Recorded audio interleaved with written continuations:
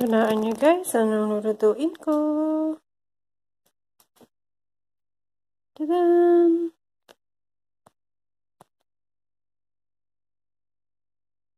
Sisig lang naman po. So, ang gagamitin ko ngayon ay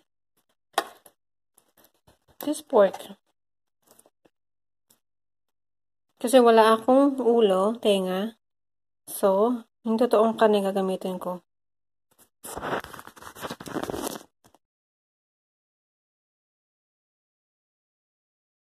Guys, magluluto din tayo ng sisig. Ayan siya. Bali, minarinate ko na lahat sila lahat kagabi. So, lulutuin ko lang sila. Magad na lang ako ng kailangang ricado. So, ayan na sila guys. Nagay ko lang sila sa aking small sizzling or cast iron cooking thing. Lutuin ko muna sila dyan lahat hanggang sa yung karne lamambot. Mamaya ko na i-add yung ibang ingredients. So, for that ingredients, actually, I already put um, chili flakes in there, onions, obviously, and some chilies.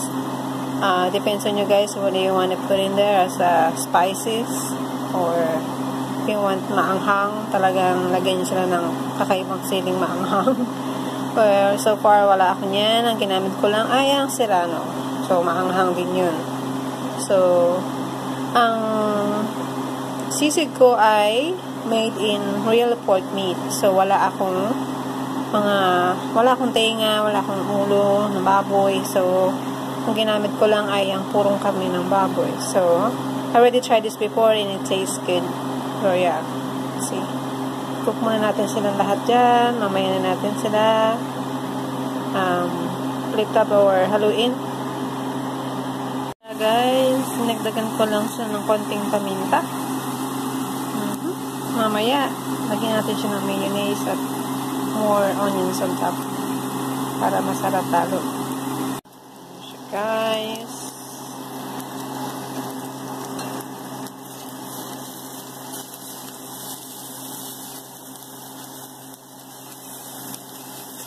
Amoy sizzling na siya.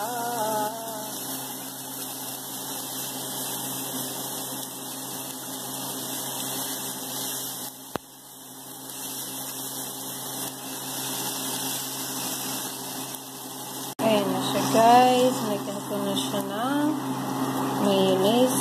Tapos konting sibuyas pa more. Konti pero more. Ayan. Di ba mukha na siyang sisig talaga?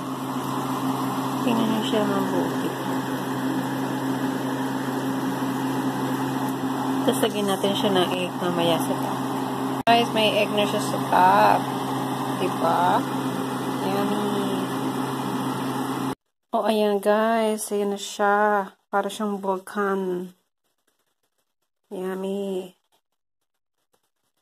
So, mimix lang natin siya. Mamaya-maya ng konti. Ganyan na siya, actually. Pwede na yan.